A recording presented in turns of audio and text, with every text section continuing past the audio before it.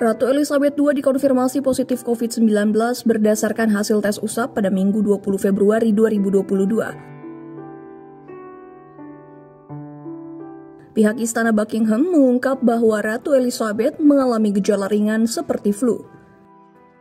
Meski terpapar virus, sang ratu yang berusia 95 tahun itu tetap mengemban tugas ringan di Windsor selama beberapa pekan ke depan dengan mengikuti protokol kesehatan yang berlaku.